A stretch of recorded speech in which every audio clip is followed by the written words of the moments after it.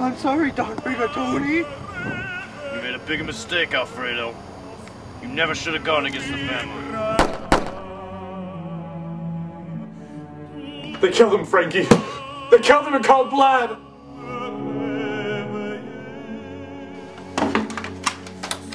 I have to do this.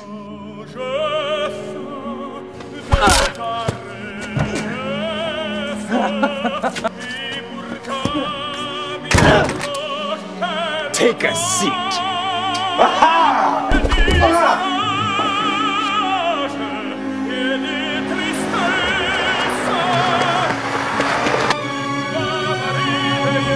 Hey, Punk.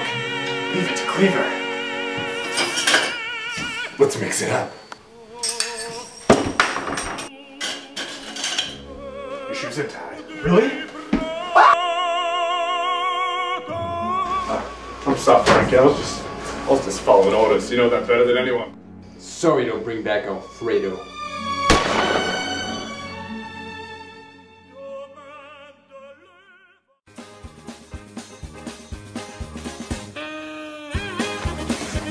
No sound effects! Don, I'm calling.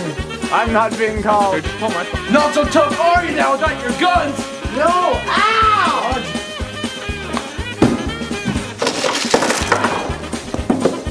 Ow!